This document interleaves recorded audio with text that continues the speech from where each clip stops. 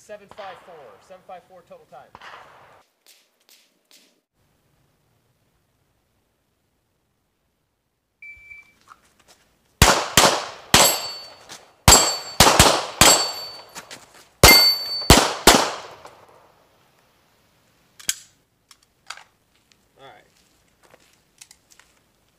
So this, that was a 727 total time.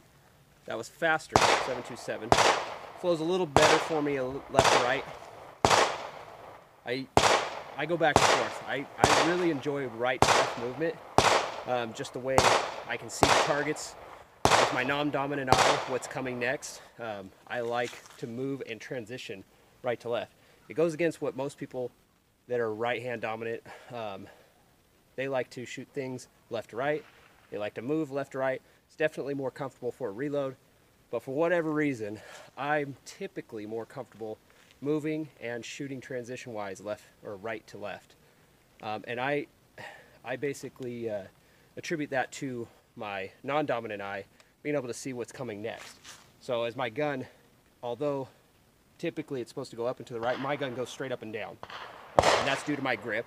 Um, but as I'm moving left to right, gun goes up and my dominant eye can see what's coming, but it's more focused on the target and what my sights are doing.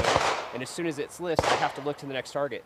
But my gun is also starting to move as soon as possible, and my left eye cannot look past it sometimes, especially depending on what the array and uh, what's going on. My non-dominant eye can't see that because I shoot with both eyes open, as most of you probably do by now. Um, but when I'm moving right to left, as those sights lift, as that shot breaks, I start to move my eyes. My my non-dominant eye is still open because the gun's more on this side of my body, so I can actually see better with my non-dominant eye and my dominant eye, uh, and my peripheral vision of what's coming next. So it's just more comfortable. That's what I found, and I've I'm comfortable moving right to left, um, just as I am left to right. So it just tends to be. I look at things sometimes a little different. I'll run a stage a little bit different than most. Uh, if there's an option to go right to left, if it makes sense, of course. So this proved the opposite. I was faster uh, by a quarter second. Not really much, uh, but let's go look at my hits. I think my first run, I had all A's um, and one for one on the steel, but we'll walk around and look at these. So these targets that I start with, if I start over here, they're about, uh, that's about 12 yards from where I'm shooting it. It's a little more than 10 from these poles, and that is definitely 12 uh, on that uh, 8 inch plate.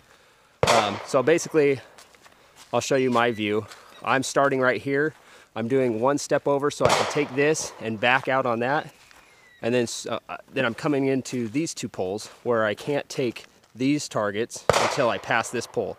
So I come in, get my sights, go one, two, one, and then same with these two pulls. I see that, hit that, and hit that, and then I just run it backwards. So let's go look at the hits now. Now that we've looked at what I'm shooting and how I'm shooting it. So I got all alphas here. I've been pushing time, so I've hit some no shoots um, through this process. And if you're not missing, if you're not pushing hard enough to miss, you're not pushing hard enough at all. So I don't don't continue to miss. Figure out why you're missing. Figure out where you're where you need to dial it back. But definitely be pushing till you miss. So this one, all alphas here, um, and you can see I shot. I I go back and forth so that way I don't get stagnant and shooting the same thing. I shot it with my rifle a little bit too. Um, and this one, I think it was on my last run. I called this. I thought it was still in, but I got a Charlie on my on my second run there. So um, still good. I'm happy with that. The times uh, under eight. I've been running them about eight consistently. Uh, my low seven runs, I'm pushing. That's where I'm getting the no shoots and where I'm getting some misses or some makeups on the steel, especially. Uh, but something to think about. A stage like this is really simple to set up. Um, 10 shots is what it takes. Three paper, four steel. Um, you can obviously vary it up.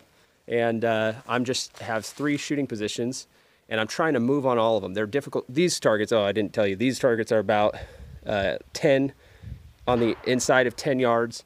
And then uh, the paper right there is set seven from where I'm shooting it, maybe six from the poles.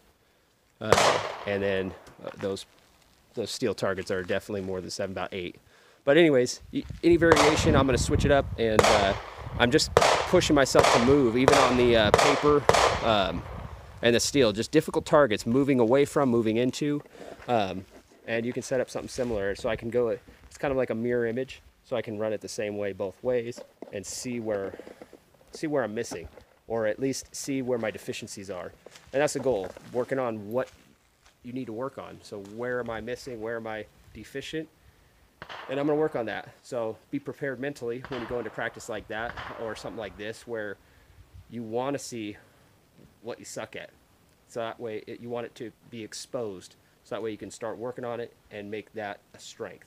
Uh, it ha- it's been all said before. I'm not reinventing the wheel by any means. Um, it's just something that this seems simple enough that a lot of people might be able to set up, um, especially using some poles. These are really easy. Uh, you can online, look them up as boundary poles, I think, or something. I get a lot of questions about that, but yeah, these are poles. I shoot them. I've broken a couple, um, but they're cheap. They're like 25, 30 bucks, I think. They might have gone up. Who knows? Um, but then, of course, the targets, super simple setup. Targets USA, check them out. And uh, yeah, if you have any questions, let me know.